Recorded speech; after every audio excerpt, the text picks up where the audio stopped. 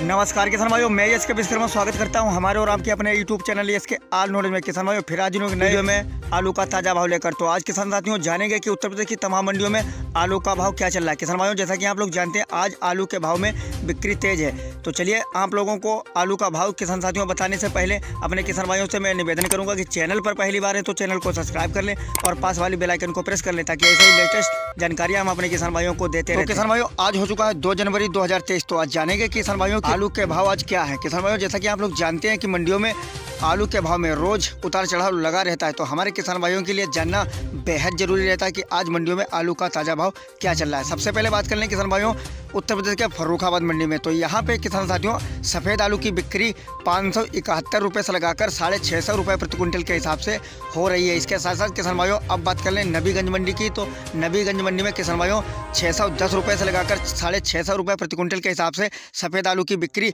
हो रही है। इसके साथ साथ अब बात कर लें किसान भाइयों, कन्नौज मंडी की तो कन्नौज मंडी में किसान भाइयों तीन सौ ग्यारह रुपये से लगाकर तीन सौ बीस रुपये पर पैकेट के हिसाब से बिक्री हो रही है। इसके साथ साथ अब बात कर लें किसान भाइयों ठटिया मंडी की। तो ठटिया मंडी में आलू का ताज़ा भाव आज रहा किसान भाइयों पाँच सौ सत्तर रुपये से लगाकर छः सौ तीस रुपये प्रति क्विंटल के हिसाब से ठटिया मंडी में आलू की बिक्री हो रही है। इसके साथ साथ अब बात कर लें किसान भाइयों, तिरवा मंडी की। तो तिरवा मंडी में आलू सफ़ेद बिक्री हो रही है किसान भाइयों, पाँच सौ साठ रुपये से लगाकर छः सौ चालीस रुपये प्रति क्विंटल के हिसाब से। अगर अच्छी क्वालिटी का आलू है किसान भाइयों तो आपका छः सौ चालीस रुपए प्रति क्विंटल के हिसाब से आज बिक्री होने वाली है। तो ये थे आलू के ताज़ा भाव जो अब तक मैंने आप लोगों को किसान भाइयों शेयर किए। मिलते हैं नेक्स्ट वीडियो में नई जानकारी के साथ। जब तक के लिए जय हिंद, जय भारत।